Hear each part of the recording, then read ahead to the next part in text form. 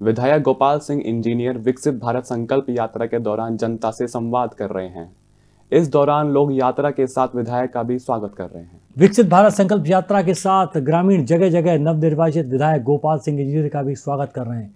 विकसित भारत संकल्प यात्रा ग्राम पंचायत सिद्दीकीगंज पहुँची, जहाँ यात्रा में पहुँचे सभी अतिथियों और विधायक गोपाल सिंह इंजीनियर का ग्राम पंचायत की ओर से भव्य स्वागत किया गया। इस यात्रा में मौजूद विभिन्न विभागों के अधिकारियों ने जनता की समस्याओं को सुना और विभिन्न योजनाओं से वंचित रह गए लोगों के आवेदन लिए।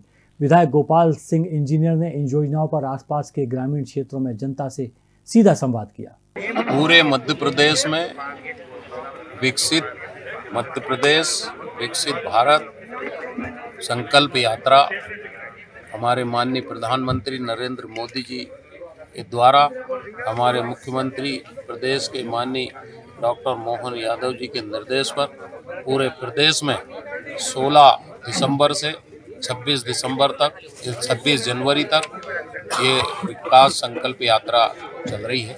इसमें हमारा यही है कि जो लोग हमारी केंद्र सरकार और राज्य सरकार की योजनाओं से जो लोग वंचित थे उन लोगों को लाभ दिलाया जाए। इसमें हम लोगों ने हमारे आष्टा विधानसभा की एक ग्राम पंचायतें हैं। उसमें हम चार से पाँच ग्राम पंचायत डेली कर रहे हैं। हमारे पूरा प्रशासनिक अमला साथ में रहता है। एक प्रशासनिक हमारा पूरा धोरा भी है और हम हर गाँव में कैंप लगा के और हमारे सारे कर्मचारी और सभी लोग जो भी वंचित है, उनको तुरंत हम लोग वहीं पे उनको पूरा योजना का लाभ दिला रहे हैं। आज यहाँ पे सिद्धिगंज में यात्रा आई थी। यहाँ पे जो मुख्य प्रधानमंत्री विश्वकर्मा योजना में सैंतीस लोगों के पंजीयन हुए हैं।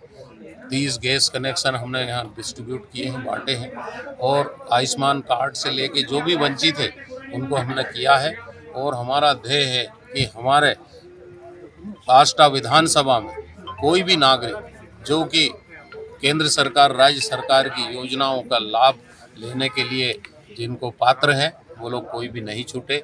हमारे सभी केंद्र सरकार, राज्य सरकार की लाडली लक्ष्मी योजना सहित सारी योजनाएँ यथावत संचालित होंगी और सारी योजनाओं का लाभ हम हमारे हितग्राहियों को दिलवाएँगे। ये हमारा वचन है। ये यही लेके हम आज ये यात्रा लेके आए हैं। सर, ये अभी जो हमारी भारतीय जनता पार्टी जो है ये जो बोलती है वो करती है सबका साथ सबका विकास हमारा नारा है।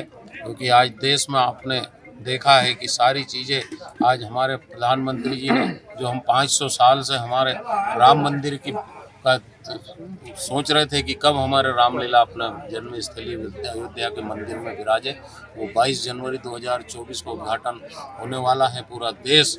आ, उसको हम लोग उसका खुशी मनाएँगे घर घर हम लोग दीपक जला के सभी खुशी मनाएँगे।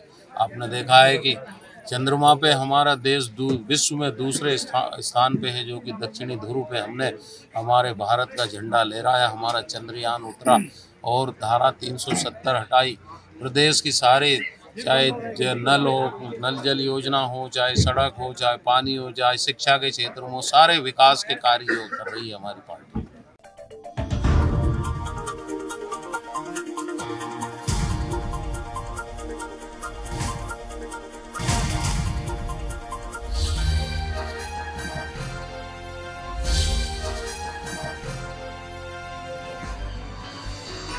आप देख रहे हैं दखल न्यूज़